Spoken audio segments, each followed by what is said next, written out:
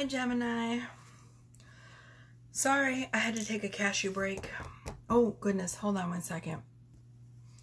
Okay, sorry about that, Gemini. So, in lieu of Valentine's Day, I'm going to be putting all of my readings on sale. And, you know, since it's the holiday of love, and I'm a twin soul reading, twin, I can't talk. Sorry. I've done too many videos, I think, already. so, since I am a twin soul reader, um, I knew that I had to get some videos out for February. All right.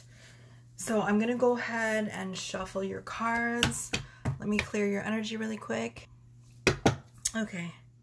Just did some sound healing. Right, clearing the energy in the room with a bell. We're reading now for Gemini for the month of February. And like I told the other signs, I'm no longer going to be focusing on singles. Since I am a twin soul reader, I'm going to be only focused on those that are in the twin soul journey. As I've been guided to by my guides, I'm going to focus only on those in the twin soul journey. So, what does Gemini need to know about their journey? And I'm going to go ahead and lay all your cards out and then interpret them so that I can read the energy as a whole. It's just easier that way. Gemini. Ooh, they put two cards out for you. So for some of you Geminis, you might already have an idea of who your twin soul is. If not, you guys can definitely feel that you have had a past life connection with this person. Okay. I feel like for a small portion of you, though, some of you already know who your person is, or you have a very strong feeling of who you think this person is. Okay.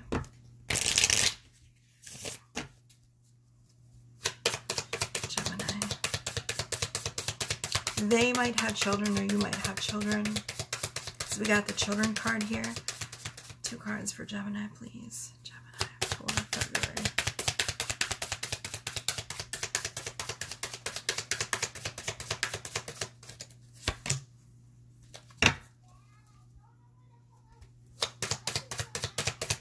And it looks like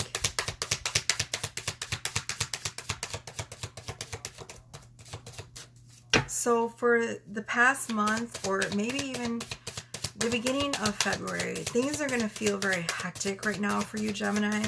I feel like there's going to be a lot of things shifting for you if they haven't already. Okay, and the reason for that is because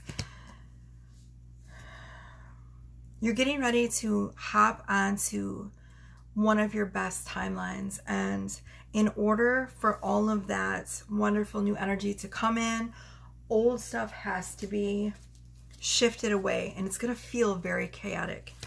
Um, I feel like a lot of you have already, might have already experienced this total upheaval of things in your life. Hold on.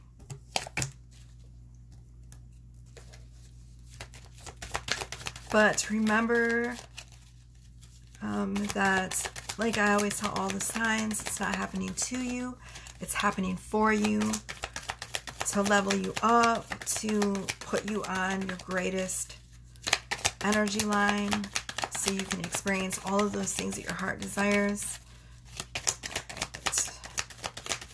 One more card for Gemini, please.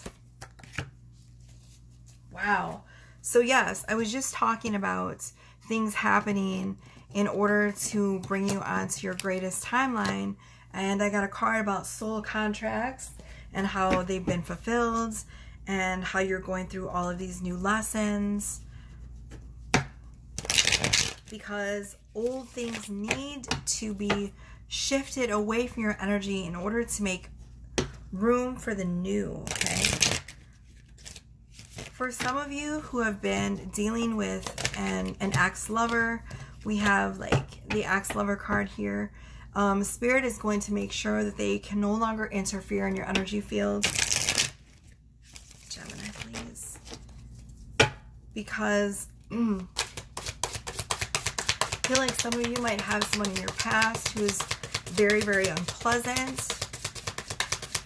Four cards. And they are an ex.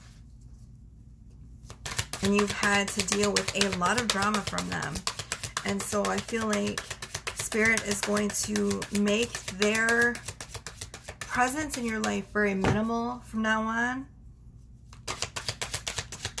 Yeah, obviously, like you guys have children together, yes, um, you will have to deal with each other on certain times.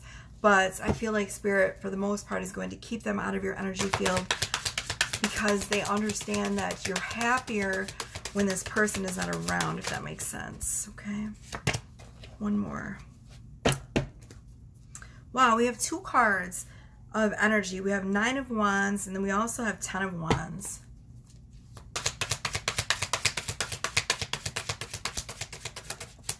One more, last one for Gemini. Five of Swords. So, all right, I'm to go ahead and pull, okay, these came out like this, a Rumi card, and then we're to go ahead and interpret and read all of the energy. Wow. So I see that when things started shifting for you, Gemini, it happened very quickly. And for some of you, it was like a, a swift kick in the stomach. You felt very unprepared and even a little bit scared um, and frantic when things started to happen and shift.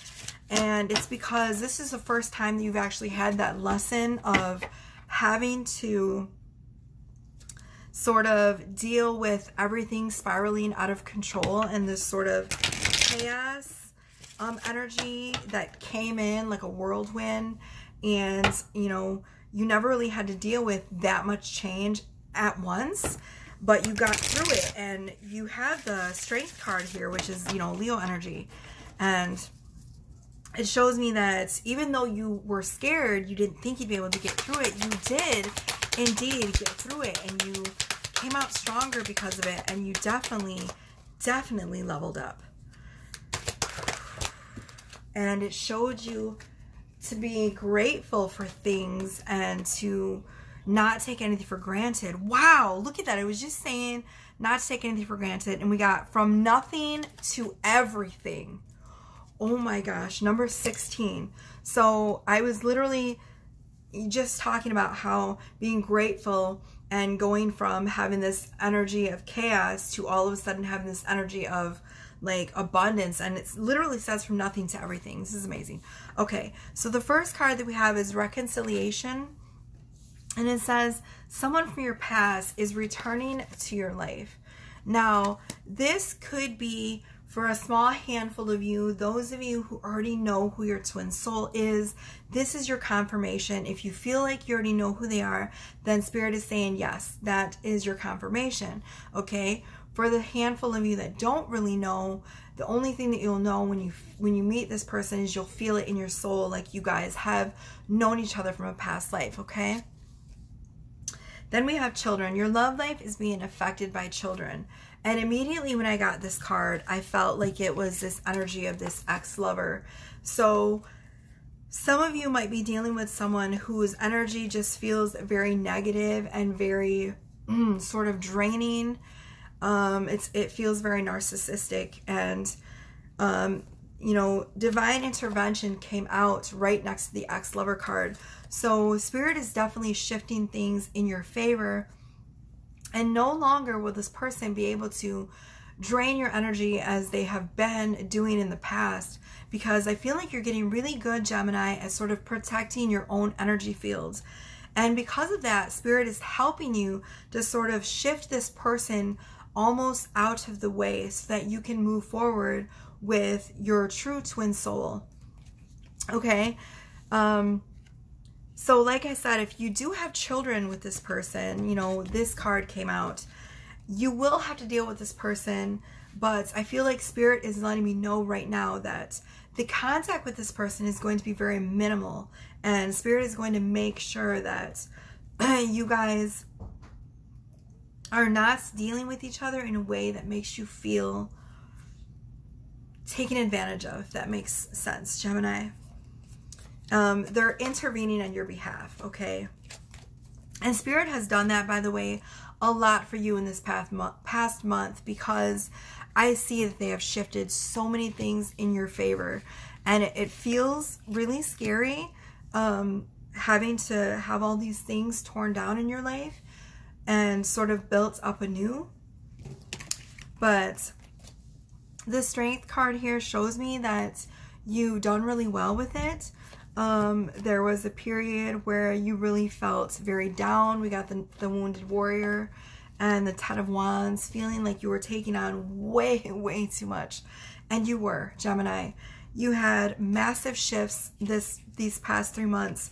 And you literally had to let go. Look, Five of Swords.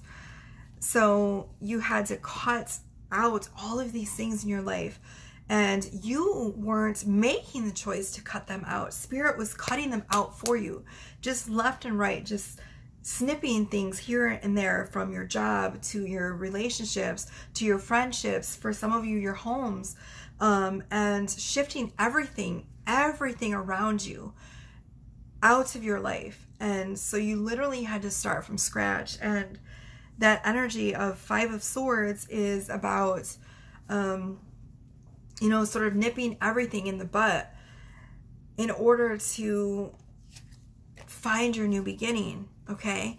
We have being grateful for all that we have leads our hearts to overflow with abundance. Give thanks for the things that you have and watch your life change.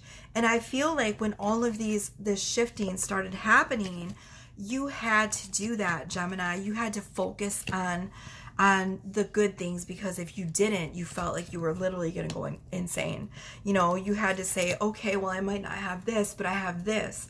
And while I might not be experiencing this, I still have this. And it was that attitude of gratitude which sort of kept you afloat during this like massive upheaval. Okay.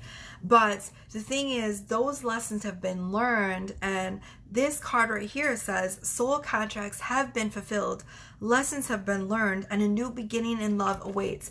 And it's funny, right? I, I didn't even read that section that says a new beginning in love awaits, and I already had had mentioned something about in order for all of this to happen and your new beginning in love to start, that you had to um, go through all of this period of sort of tower moments back to back to back in order to shift your energy into this new energy of love, okay? So, one second. Okay, so I just wanted to um, look up the Five of Swords really quick because I kept feeling this energy of like having to start over and sort of things being destroyed in order to create new things.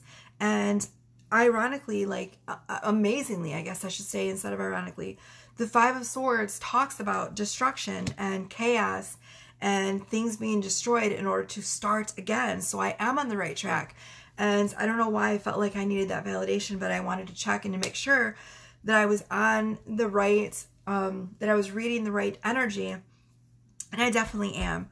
So um, it's it's almost like when you you know, have to destroy something in order to create something again. It's like, for example, you're a sculptor and you're trying to create this beautiful vase and so you're shaping it with your hands and then you screw up and it it, it all like you know bends into itself and the sculpture is like completely destroyed you're gonna have to build that sculpture again and mold it with your hands in order to restart again, in order to make another sculpture, right? And I'm going to go ahead and look this up. The last card, which I'm going to leave you with, my beautiful Geminis, my beautiful air signs, and it is from nothing to everything. Oh, my friend, if you are longing to be written on, become a blank page. Have you been shedding your skins, your layers, your certainties? Gone are fixed identities and definite opinions. Keep casting those shackles aside, even if you fear you are releasing too much, and then, perhaps, you shall cease to exist. You shall only cease to exist as you have known yourself to be thus far. Another emanation of you awaits, blazing angel, something more beautiful and true. Yet here you are at the pruning stage like a gardener for the soul. Shall the garden spring back to life, or will the enthusiastic denuding process be rather too much and unintentionally kill off the garden altogether? Fear not. Your soul is made of hardy stuff. It can handle a lot of calling and will shine even brighter for it.